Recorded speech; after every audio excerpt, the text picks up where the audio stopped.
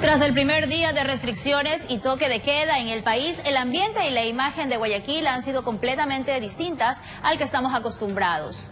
Calles despejadas y locales cerrados marcaron esta jornada. Fue un miércoles distinto. Esas calles, esas esquinas donde antes se imponía el ruido ensordecedor producto del paso constante de vehículos.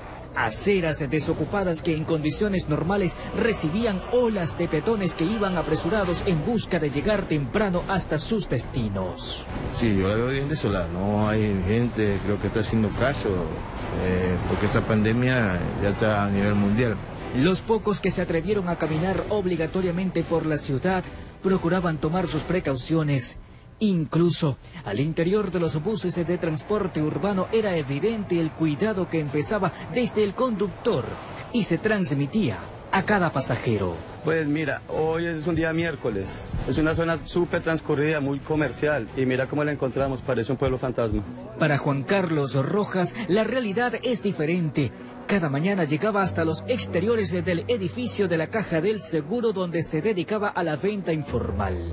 Casi siempre agotaba su producto durante las primeras horas, pero ese día no hubo clientes a quien ofrecer sus frascos de alcohol.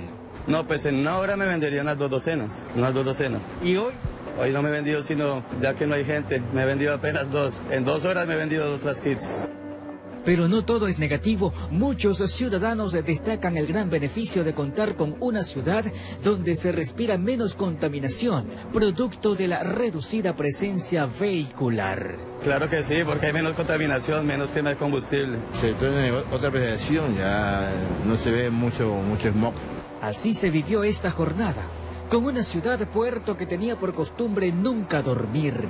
La tierra de los Huancavilcas, aquella que jamás se vio vencida ni por piratas ni por incendios, pero que hoy se ve obligada a detener su marcha por la presencia de un invasor sin precedentes.